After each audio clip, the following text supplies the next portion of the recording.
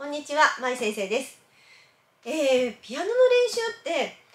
えー結構長時間になったり、まあ、同じ場所をね、やっぱり弾きにくいところを一生懸命練習したりすると、まあ、練習が終わった時には、うん、ちょっと疲れたなって、こう、肩のこの後ろのところとか、ちょっとね、こういうところが凝ったりとかなんていうのは、本当によくありますよね。で、まあ私なんかも、あの、日々ねコンスタントにこう練習できていればいいんだけれどもまあ今日は練習できると思ってたくさんしてしまうと、えーちょっとね、えーどこかに負担がかかる練習の方法のまま分からずにしてしまったりしてほんと久しぶりに長時間練習したりするとほんとこういうところ、ね、肩甲骨のこの後ろのところがすごい張ってしまったりして。ねまあ誰かにねこう揉んでもらえたら一番いいんですけどなかなかそういうわけにいかない。で最近ねくいいものをね手に入れたのでちょっとお見せします。じゃーん。もうものすごい今これ相棒、えーマッサージガンというらしいです。なんかね最近筋膜剥がし。えっ、とね筋肉の上に張ってる膜らしいんだけど そこを筋膜剥がしとか筋膜リリースとかいうのにこれを使うといいよということで。もうねこれ買って大正解。えっ、とねこれはまあこれはちょっと小さめのものです。もうすごく大きいものから専門家の人が使うようなあのまあどう違いがあるのかはよくわからないんだけど、えーそういうものから値段の幅もすごくたくさんあるみたいです。私が買ったのは何千円ぐらいの3000円から5000円ぐらいの間だったような気がするんですけどそれぐらいのものです、えー高いものはねやっぱり何万円ってするものがあるのでそれではないんですけどここのところ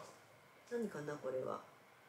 うーんちょっと柔らかいもの出てきていますけどこの丸いところがこう前後にこう振幅するんですけどこの振幅の幅もなんかいろんなあの、えー商品によってはいろいろなものがあるらしいです。段階もいろいろあるでしょうしアタッチメントもいろいろあるみたいなんですけど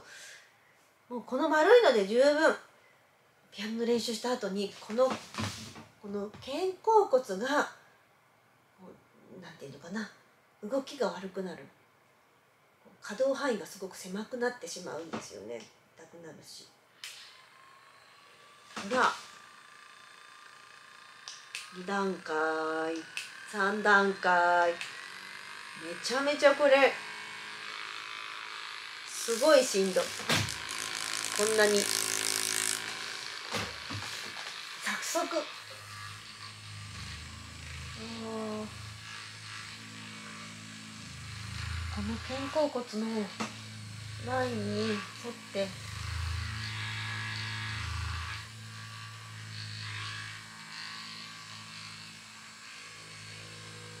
ものすごい振動が頭まで伝わってきます。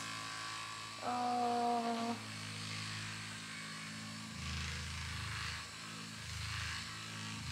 ー。もうザ・ツボっていうとこみたいなとこに当たる。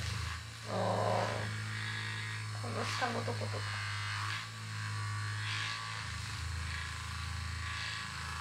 なんて言ってこれ5分間ぐらい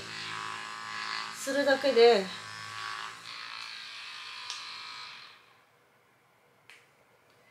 今はね本当に今1分もしないぐらいだったと思うんだけど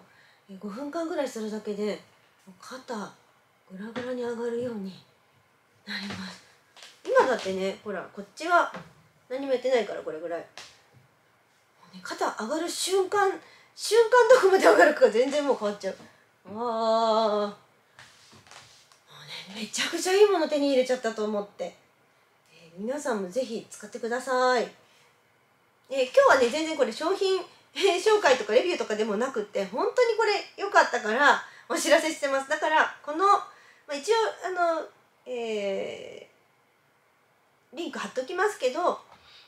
これじゃなくても全然いいと思うのでこういうそのマッサージガンでぜひ検索してみてください、